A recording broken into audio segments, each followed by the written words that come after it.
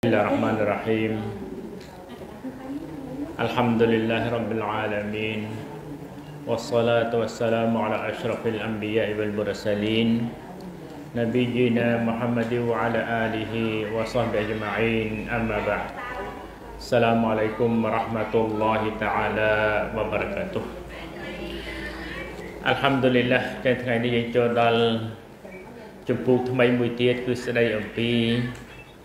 ឈាមរដូវនិងឈាម nifas ពលគឺឈាមដែលអឺមានជាប្រចាំខែសម្រាប់ស្ត្រីភេទនិងឈាម nifas គឺជាឈាមដែលមកជាមួយនឹងការជាមួយនឹងការសម្រាប់កូនអញ្ចឹងប្រភេទឈាមទាំងពីរនេះ គឺពាក់ព័ន្ធទៅនឹងហុគមគឺមានច្រើនហើយក៏ដូចជាលក្ខណៈនៃឈាមនេះក៏មានលក្ខណៈ អឺខុសៗគ្នាដោយសារស្ថានភាពនៃស្ត្រីគឺមានលក្ខណៈខុសៗគ្នាដូច្នេះគឺมันអាចថាដាក់ហុគមមួយ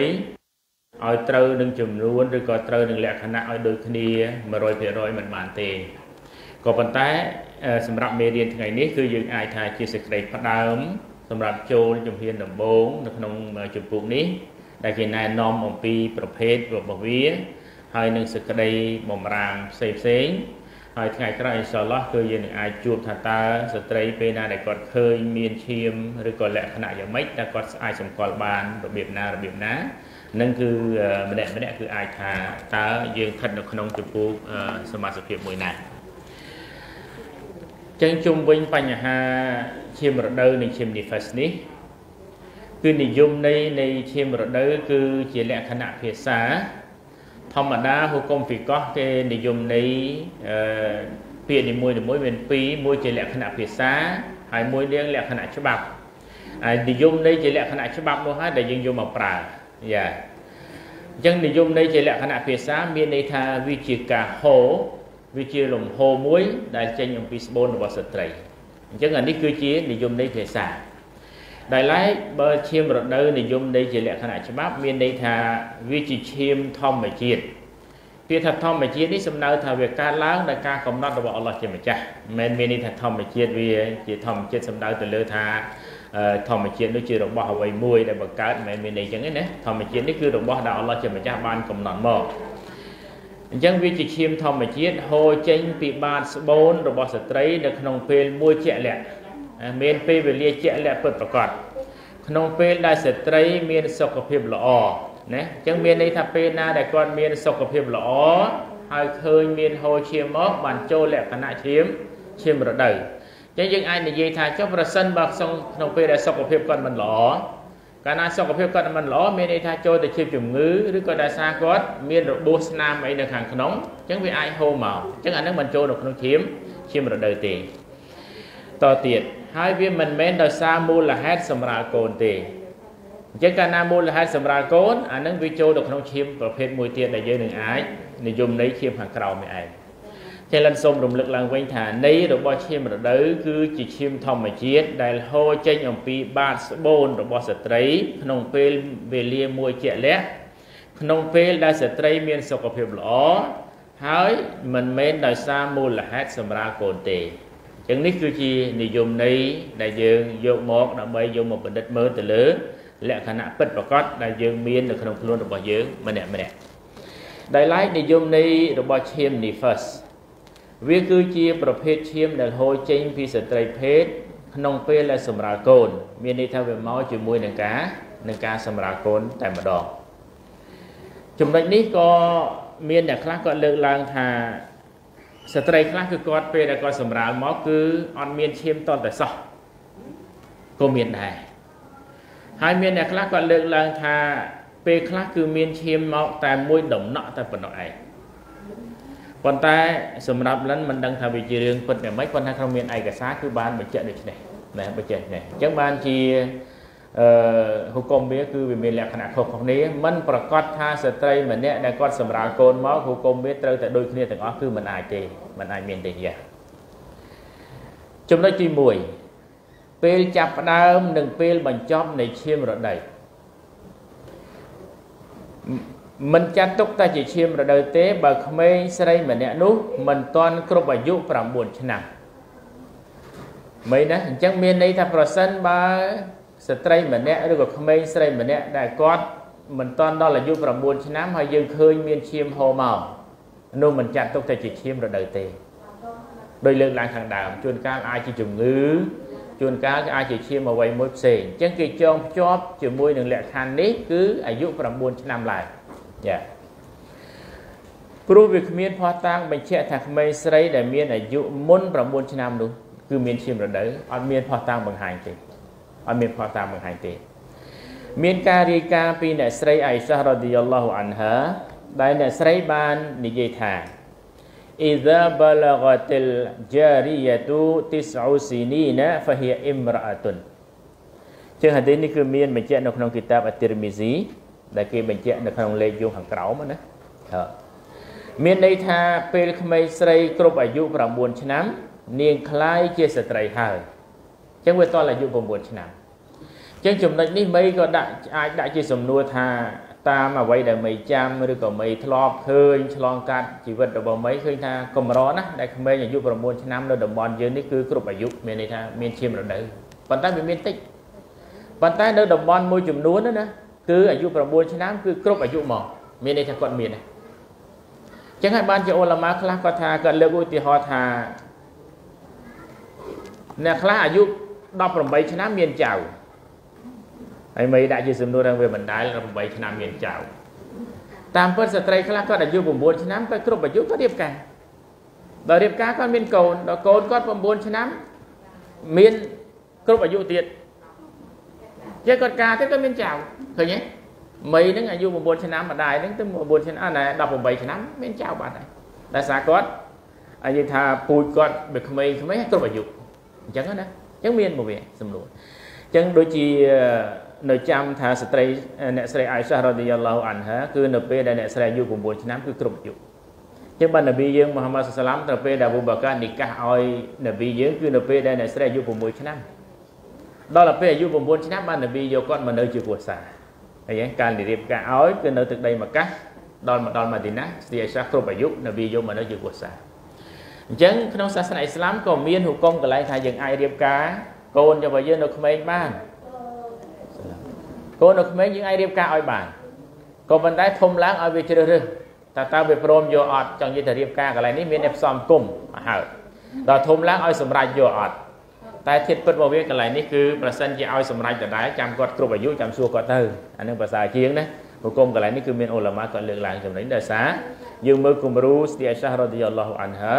គឺអ្នកស្រីត្រូវបានឪពុករបស់គាត់រៀបការឲ្យនប៊ីតាំងពីអាយុ6ឆ្នាំមកម្លេះអឺចឹងចំណុចនេះគឺចង់បង្ហាញប្រាប់ថាចាប់ពីអាយុ9ឆ្នាំបើសិនជាឃើញមានឈាម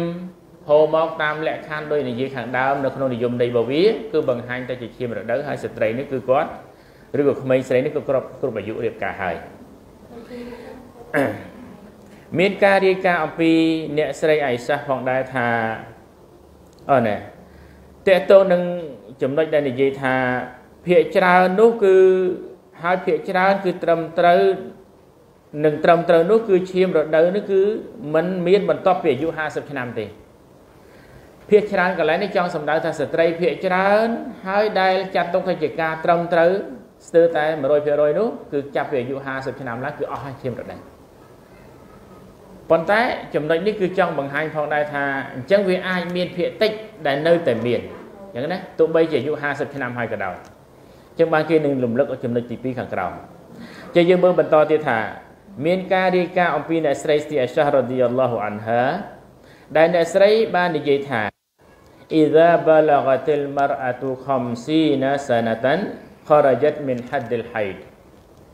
មានន័យថាស្ត្រីភេទនៅពេលណាដែលគាត់ចូលដល់អាយុ50ឆ្នាំគឺគាត់បានចាក់ផុតអំពីដែនកំណត់របស់ឈាមរដូវហើយ ចឹងនេះគឺគេនិយាយភាកច្រើនទេណាភាកច្រើនប៉ុន្តែទន្ទឹមនឹងភាកច្រើនក៏មានភាកមួយចំនួនក៏ត្រូវតែនៅមានណានៅមានផងដែរចំណុចនេះចំណុចទី2រយៈពេលតិចបំផុតនិងច្រើនបំផុតរបស់ឈាមរដូវចឹងសួរថារយៈពេលតិចនិងច្រើនបំផុតរបស់វាគឺយ៉ាងម៉េចមាញ់មិញយើងនិយាយពីសេចក្តីផ្ដើមនៅពេលដែលមានចាប់ពីអាយុ9ឆ្នាំឡើងអានឹងមិនចាប់ទុតតែឈាមរដូវបើសិនជាវាគ្រប់លក្ខខណ្ឌនៅដូចនៅក្នុងនិយមន័យ ប៉ុន្តែចំណុចទី2គឺថាបើសិនជាចំនួនតិចបំផុតនិងច្រើនបំផុតរបស់វានេះយ៉ាងម៉េចតាមទស្សនៈត្រឹមត្រូវគឺរយៈពេលតិចបំផុតនិងរយៈពេលច្រើនបំផុតរបស់ឈាមរដូវគឺគ្មានដែនកំណត់ទេឃើញទេអត់មានដែនកំណត់ទេ វាអាស្រ័យទៅលើទម្លាប់និងការទទួលស្គាល់ជាទូទៅទម្លាប់យ៉ាងម៉េចជួនកាលស្ត្រីម្នាក់អ៊ុលម៉ាខ្លះគាត់ថាមានមួយថ្ងៃមួយយប់ក៏មានអ្នកខ្លះគឺមានតិចជាងនឹងទៅទៀត រយៈពេលនៃការមានរបស់ឈាមរដូវមានឈាមរដូវអញ្ចឹងចំណុចនេះដែលម្នាក់ម្នាក់មិនអាចដូចនិយាយខាងដើមថាមិនអាចថាដាក់ច្បាប់មួយឲ្យត្រូវសម្រាប់ស្ត្រីទូទៅអត់បានទេណាព្រោះលក្ខណៈខុសគ្នា ហើយច្រើនបំផុតក៏អត់មានដែនកំណត់ដែរអញ្ចឹងដូចលើកឡើងខាងដើមថាភាគច្រើនគឺ50ឆ្នាំអស់ប៉ុន្តែក៏នៅមានចំនួនណាមួយនោះគឺ50ឆ្នាំហើយក៏នៅតែគាត់មានដែរអញ្ចឹងសំខាន់ដល់ពេលណាដែលឃើញមានគឺមានពេលណាដែលឃើញអស់គឺអស់អានេះបានស្រួលនិយាយគ្នាបើឃើញតិចអស់ត្រឹមណាចាត់ទុកថាតិចប៉ុណ្្នឹងឯងហើយបើឃើញច្រើនអស់ត្រឹមកម្រិតអាយុប៉ុន្មានអស់ត្រឹមប៉ុណ្្នឹងអានឹងបានបានចាត់ទុកថាវាស្រួលដាក់ដែនកំណត់នឹងបើដាក់ឲ្យដាក់មួយសម្រាប់ទាំងអស់គ្នាគឺអត់ទេចឹងនេះគឺជាចំណុចទី2ដែលពាក់ព័ន្ធទៅនឹងការដែលរំលឹកអំពីការឈាមរដូវនិងឈាម nifas នេះឯង រយៈពេលធម្មតារបស់ឈាមរដូវជាធម្មតាឈាមរដូវមានរយៈពេល6ឬក៏7ថ្ងៃចឹងនេះគឺជាលក្ខណៈធម្មតាដែលជាការសម្គាល់របស់របស់ច្បាប់ដែលបង្ហាញដោយសារដោយសារថាអាចថាមានការបង្ហាញអំពីស្ត្រីភាគច្រើនដែលជាធម្មតាគឺមានប៉ុណ្្នឹងឯងដោយយោងទៅលើប្រសាសន៍របស់រ៉ាស៊ូលឡោះហ៊ីសុសឡាំដែលរ៉ាស៊ូលឡោះនិយាយទៅកាន់អ្នកស្រីហាំណាស់ប៊ីនទីយ៉ាស៊ីន ពីព្រោះស្ត្រីនេះមកសួរមកសួរនប៊ីយើងមូហាម៉ាត់សុសឡាមជាងនប៊ីធម្មតាលោកប្រាប់អំពីច្បាប់បង្ហាញពីច្បាប់ជាងយោងតាមចំណុចដែលនប៊ីសុសឡាមបានបញ្ជាក់ប្រាប់ហ្នឹងគឺអ៊ុលម៉ាដកស្រង់មកថាជាធម្មតាគឺមាន6ថ្ងៃឬក៏7ថ្ងៃចឹងនប៊ីបានមានប្រសាសន៍ថា تحيضي في علم الله ستة أيام أو سبعة أيام ثم اغتسلي وصلي أربعة وعشرين يوما أو ثلاثا وعشرين يوما كما تحيد النساء وكما يطح يطهرن كما يطهرن لميقات حيدهن وطهرهن ជាហាឌីនេះគឺមានបញ្ជាក់នៅក្នុងគីតាបអាប៊ូដាវូដវ៉ាទីរមីស៊ីហើយជាហាឌីដែលដែលត្រឹមត្រូវដែលយើងអាចយកមកអមាលយកមកអនុវត្តបាន មានន័យថាអ្នកស្រីគាត់ធ្លាប់មានឈាមរដូវគឺក្នុងការដឹងរបស់អល់ឡោះ6ឬក៏7ថ្ងៃប៉ុណ្ណោះបន្ទាប់មកអ្នកស្រីត្រូវមុជទឹកជំរះសម្អាត ហើយអ្នកស្រីត្រូវសឡាតរយៈពេល9ថ្ងៃ29 24ថ្ងៃឬក៏23ថ្ងៃដោយដែលពពួកស្ត្រីភេទដែលមានឈាមរដូវហើយនឹងដោយពួកស្ត្រីដែលគាត់បានចេះស្អាត ការគិតគូររយៈពេលរដូវរយៈពេលចេះស្អាតគឺដោយស្ត្រីផ្សេងផ្សេងអញ្ចឹងចង់និយាយថាបើសិនជាស្ត្រីម្នាក់គាត់មានឈាមរដូវមួយប្រហែល6ថ្ងៃអញ្ចឹងគាត់ត្រូវជ្រះស្អាត20 24ថ្ងៃតែបើសិនជាគាត់មានរយៈពេល7ថ្ងៃគាត់ត្រូវជ្រះស្អាត23 23ថ្ងៃគឺជាលក្ខណៈធម្មតា ព្រោះដោយសារអីដោយសារមួយខែសាសនាអ៊ីស្លាមរបស់យើងកំណត់មួយខែមាន29ថ្ងៃឬ30ថ្ងៃទេអត់មាន31ថ្ងៃទេក្នុងមួយខែសម្រាប់អ៊ីស្លាមណា29ថ្ងៃឬក៏30ថ្ងៃអស់ហើយអញ្ចឹងបើសិនជាគាត់មាន6ថ្ងៃគាត់អាចនៅរយៈពេលទំនេររបស់គាត់24ថ្ងៃឬក៏23ថ្ងៃតែបើគាត់មានរយៈពេល7ថ្ងៃគឺគាត់អាចជ្រះស្អាត22ថ្ងៃឬក៏20 23ថ្ងៃមានន័យថាមុននឹងដល់ ដល់ចូលខែថ្មីដែលគាត់អាចនៅមានជារដូវបន្តមកទៀតនេះគឺជាអ្វីដែលនប៊ីយើងមូហាម៉ាត់សុសឡាមដែលលោកបានបញ្ជាក់ប្រាប់ដោយឡែកចំណុចទី4អានេះគឺសេមសអាឡាតាមពិតចំណុចដាក់ចំណុចវិញចំណុចទី4ប្រការបំពេលមានឈាមរដូវឈាមហេតឬក៏ឈាមនីហ្វឹសតើគេបំរាមអ្វីខ្លះនេះចំណុចនេះហើយដើម្បីត្រូវចងចាំទាំងអស់គ្នាហើយផុតពីអាបំរាមហ្នឹង គឺមីធ្វើអីក៏បានដែរក្នុងពេលដែលមីមានឈាមរដូវឬក៏មានឈាមឈាម nifas ទី1ដែលត្រូវបំរាម គឺពេលដែលមានឈាមរដូវក្តីឬក៏មានឈាម nifas ក្តីគឺការរួមសង្វាស់ជាមួយគ្រួសារគឺត្រូវបានច្បាប់ក្នុងអំឡុងពេលហ្នឹងគឺហាមមកហើយព្រោះនៅក្នុងកូរ៉ានអល់ឡោះបញ្ជាក់ថាអាហ្សាពាក្យថា other នៅក្នុងកូរ៉ាននេះមានន័យថាវាជាគម្រោងមួយដែលនាំឲ្យគ្រោះថ្នាក់ ណាបរោះជាប្តីរួមសង្វាស់ជាមួយគ្រួសារក្នុងពេលដែលស្ត្រីកំពុងតែមានឈាមរដូវគឺឈាមនោះគឺឈាមគម្រោងមិនល្អទេវាអាចឆ្លងជាមេរោគណាខុសពីពេលដែលគាត់កំពុងតែជ្រះស្អាតជាងអល់ឡោះស៊ុបហានតាឡាចាអល់ឡោះជាម្ចាស់បានរំលឹកនៅក្នុងគម្ពីរអល់កុរអានដើម្បីជាមេរៀនសម្រាប់អ្នកទាំងអស់គ្នាគឺអល់ឡោះបានរំលឹកហើយវាជាជាលក្ខណៈគេហៅថាអត្តនោម័ត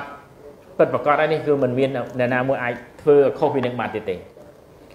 អល់ឡោះបានមានបន្ទូលថាបិស្មិលឡាហ៊ីរ៉ាហ៊ីម فاعتزلوا النساء في المحيض ولا تقربن حتى يطهرن ចូលពួកអ្នកជិះវៀងរួមសង្វាស់ភរិយាក្នុងអំឡុងពេលដែលមានជាមរដូវសំដៅទៅលើអំទៅលើពពួកបរោះជាប្តី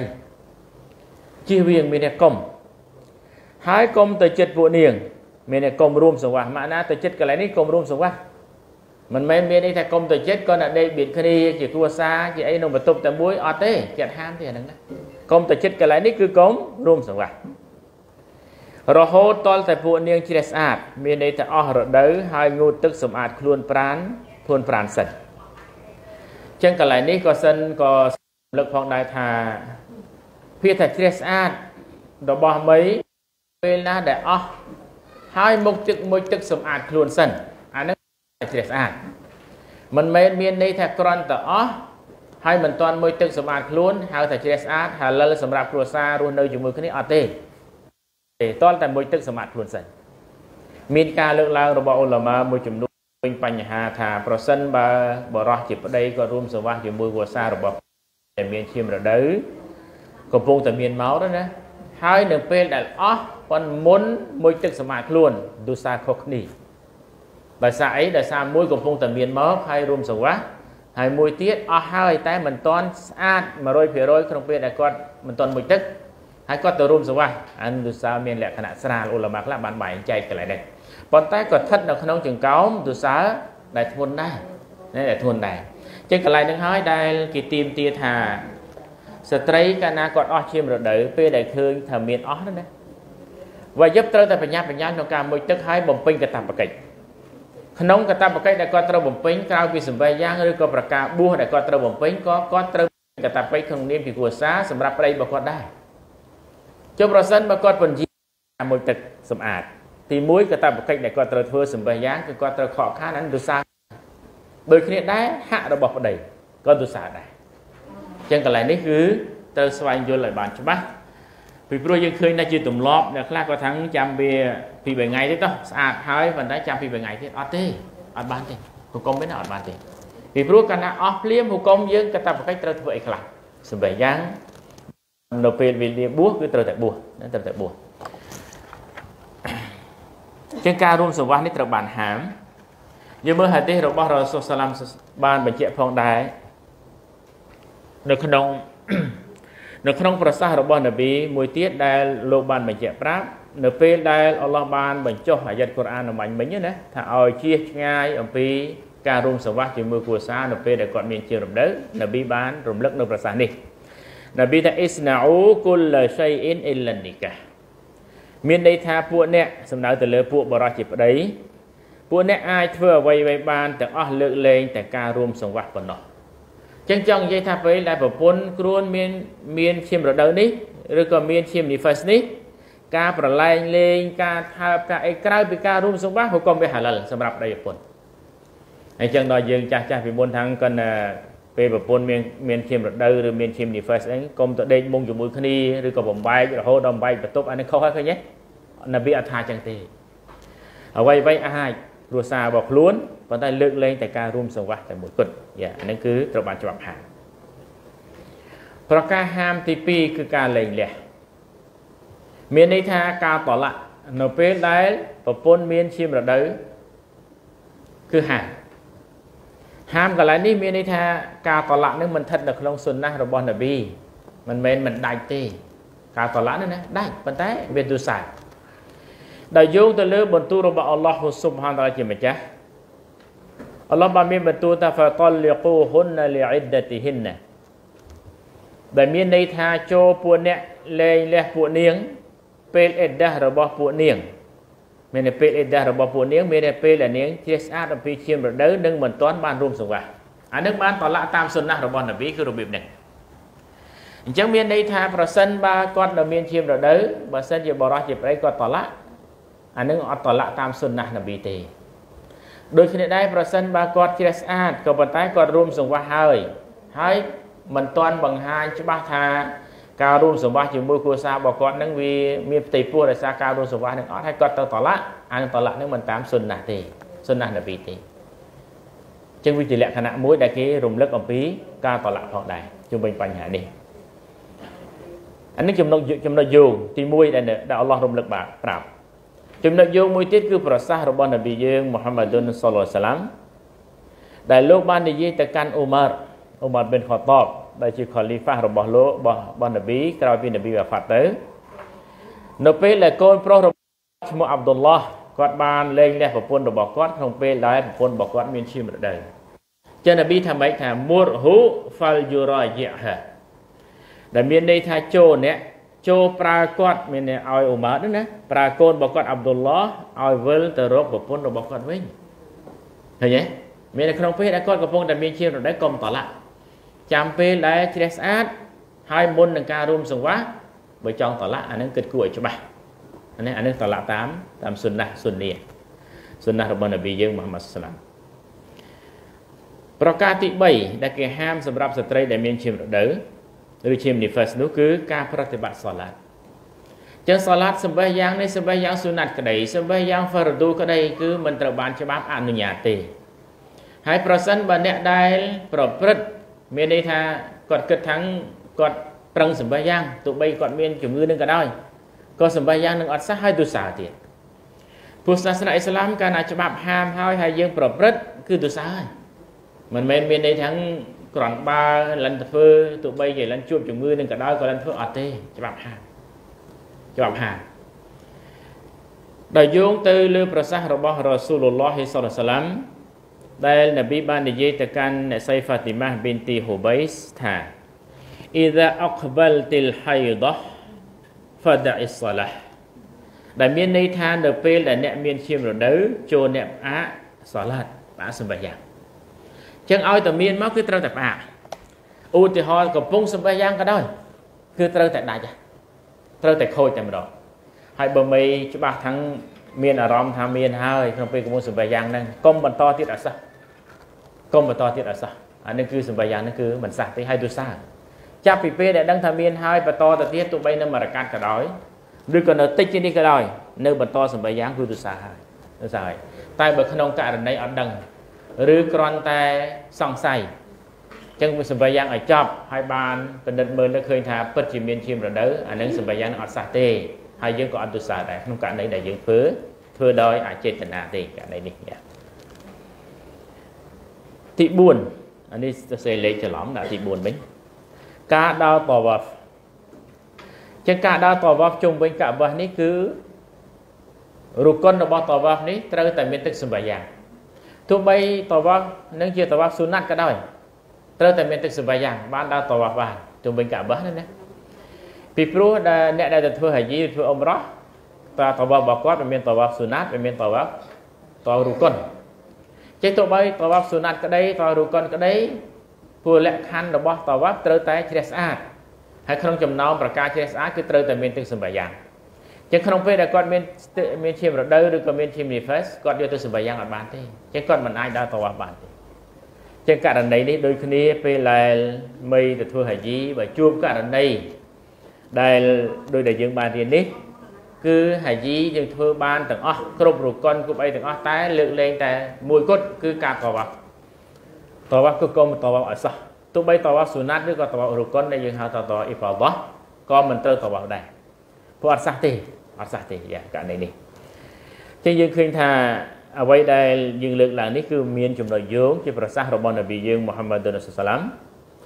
ដែលនប៊ីបាននិយាយទៅកាន់ស្ទីអេសារ៉ាឌីយ៉ាឡោះអានហាដែលជាប្រពន្ធរបស់គាត់នៅពេលដែលអ្នកស្រីមានឈាមរដូវថា if ali ma yaf'alu al-haju ghayra alla tatufi bil bayti hatta tathuri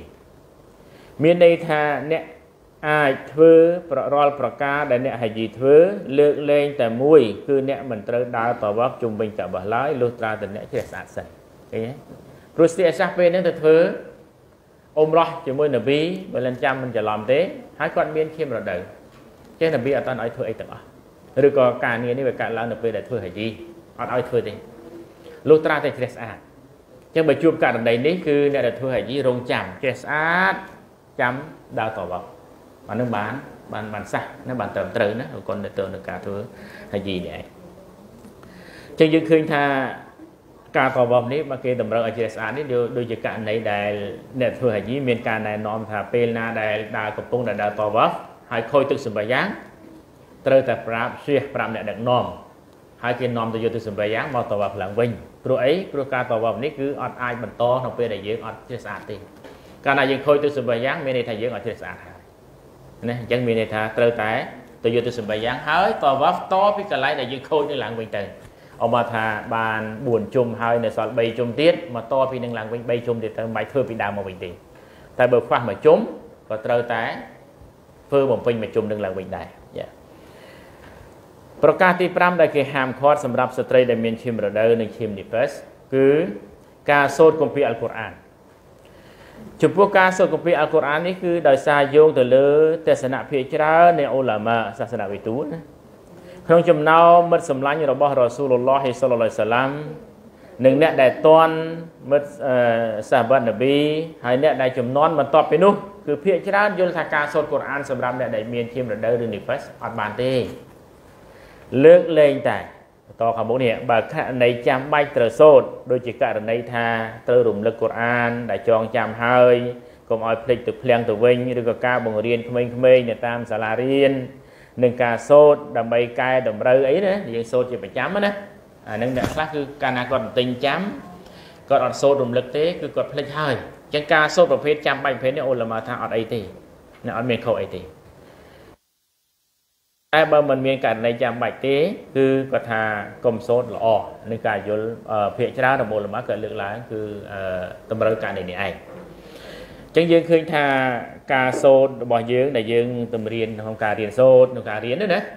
គឺมันជាបញ្ហាទេព្រោះបើសិនជាយើងមិនពួកនេះវាចាំបាច់ឲ្យយើងរៀនព្រោះសិស្សសាលាជួនកាលគាត់មិនអាចថាសុំឈប់សុំសូត្រមកសុំផ្អាកសូត្រមួយអាទិត្យអត់បានទេ នេះអត់បានទេករណីហ្នឹងអញ្ចឹងមានន័យថាអ៊ុលម៉ាដែលលើកឡើងថាជាការចាំបាច់អាហ្នឹងយើងចូលករណីហ្នឹងឯងដែលយើងអាចរៀនយើងអាចសូត្របានណាទី6គឺប៉ះពាល់កូរ៉ានអានេះគឺវាធ្ងន់ធ្ងរជាងការដែលយើងសូត្រណាការសូត្រគឺវាស្រាលជាងដោយសារយើងអត់ប៉ះប៉ុន្តែប៉ះប៉ះពាល់កូរ៉ាននេះគឺអ៊ុលម៉ាភាគច្រើនលើកឡើងថាកុំប៉ះប៉ះនេះគឺសំដៅទៅលើប៉ះផ្ទាល់ណាក្នុងគម្ពីរអល់កុរអានដោយសារកុរអានជាបន្ទូលរបស់អល់ឡោះ ហើយវាជាគម្ពីរដែលជ្រះស្អាតបំផុតនៅលើទុនយ៉ានេះគឺគម្ពីរអល់កុរអានដោយយោងទៅតាមបន្ទូលរបស់អល់ឡោះហ៊ូស៊ុបហានជាម្ចាស់ដែលទ្រង់បានមានបន្ទូលថាឡាយ៉ាមស៊ូហ៊ូអ៊ីលលមុតតាហ៊ុនដែលមានន័យថាគ្មានអ្នកណាប៉ុណ្ណោះ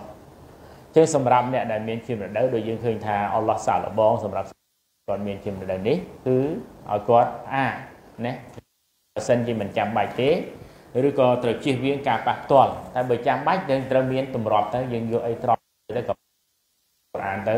កាន់ឧទាហរណ៍ថាជំរះសម្អាតតុកទូអីទៅជួនកាលយើងត្រូវការមានកូរ៉ានយើងដាក់កន្លែងហ្នឹងដល់អញ្ចឹងបីត្រូវការសម្អាតកន្លែងហ្នឹងអញ្ចឹងយើងអាចយកកម្មាអីត្រប់ទៅណាដើម្បីកាន់វាទៅហើយយកដាក់កន្លែងផ្សេងមុននឹងសម្អាតទូហ្នឹងទៅអានេះហ្នឹងបាន តែក្នុងយត្តកូរ៉ាននេះអ៊ុលម៉ាខ្លះគាត់បកស្រាយថាពាក្យថាអ្នកដែលជ្រះស្អាតកន្លែងនេះសំដៅទៅលើម្លាយកាត់មិនមែនមនុស្សយើងទេណា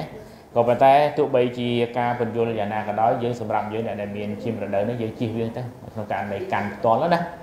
ហើយបើសិនជាគាត់ស្រាប់អានេះចូលស្រាប់ឬក៏មានចៅឬក៏មានក្មួយឬអីកូននៅបេះហ្នឹងយើងចង់សូត្រឲ្យគាត់បើកឲ្យទៅ យើងសូត្រទៅអានេះវាអត់អីទេណាវាអត់អីទេយ៉ាចំណុចទី7គឺការចូលស្នាក់នៅក្នុងមស្ជីតធម្មតាមស្ជីតគឺកន្លែងជ្រះស្អាតកន្លែងដែលធ្វើអ៊ីបាដាតដែលកន្លែងជ្រះស្អាតអញ្ចឹងដូចដែលលើកឡើងខាងដើមរូបជានិយាយអញ្ចឹងខ្លាចលោវាត្រក់វាមាននៅក្នុងហ្នឹងអញ្ចឹងម្ល៉េះហើយគេហាមមិនអោយការម្នាក់គាត់មានជារដូវនេះគឺអឺទៅនៅអង្គុយនៅក្នុងម៉ាស៊ីនអីទេ តែមានការលើកឡើងអ៊ុលម៉ាខ្លះថាបើសិនជាដែរឆ្លងកាត់ជាការចាំបាច់ឆ្លងកាត់អូម៉ារ៉ាមេសិតចំផ្លូវចំអីទៅអញ្ចឹងវាត្រូវការដើរកាត់ដើរអីទៅអានឹងមិនមិនត្រូវបានច្បាប់ហាមទេហើយដែលជាពិសេសនៅពេលបច្ចុប្បន្ននេះគឺវាកាន់តែងាយស្រួលសម្រាប់គឺឃើញថាអ្វីសម្អាតបាំងនឹងគឺទំនើបដែលអញ្ចឹងវាកម្រណាស់ដែលនឹងមានថាមានស្រក់មានអីហ្នឹងគឺវាវាកម្រណាស់ខ្ញុំជឿជាក់ថាអនាម័យរបៀបនេះស្ដាប់យើងធ្វើបានទេ ជាចំណុចហាមមិនឲ្យទៅស្នាក់ក្នុងតាមដែលលោកបានមានប្រសាសន៍ថាលុលម៉ាស្ជីដាលីយូនូប៊ីនវ៉ាឡាហាអ៊ីឌិនដែលមានន័យថាខ្ញុំមិនអនុញ្ញាតឲ្យម៉ាស្ជីដនេះសម្រាប់អ្នកដែលមានយូនូមានឈាមរនេះហាមណាមិនអត់អញ្ចឹងមានន័យថានេះកាណាហើយពិតរ៉ាស៊ូលឡោះសាឡាមថ្ងៃគឺបានឲ្យរបស់លោកចិត្ត ស្រីស្ទីមានន័យថានៅក្នុងរបស់អ្នកស្រីហើយអោនមកដើម្បីអោនមកដើម្បីឲ្យប្រពន្ធរបស់គាត់សិតសក់ឲ្យគាត់អ្នកស្រីកំពុងតែមានឈាមរដូវហើយបន្ទប់របស់អ្នកស្រីគឺនៅជាប់នឹងចឹងដល់ពេលខ្លះលោកទៅអ៊ីទីកហ្វឬក៏ទៅសម្បាយ៉ាងណាពេលខ្លះលោកអោនតែក្បាលចេញមកក្រៅម៉ាស៊ីនទេហើយផ្ទះមកម៉ាស៊ីនចឹងអ្នកស្រីគឺគាត់សិតសក់ឲ្យនប៊ីយើងមូហាម៉ាត់សាឡាមហើយ ដែលអ្នកស្រីគឺគាត់មានមានជារដូវចឹងកន្លែងនេះក៏បង្ហាញប្រាប់ថាសម្រាប់ស្ត្រីដែលមានរដូវ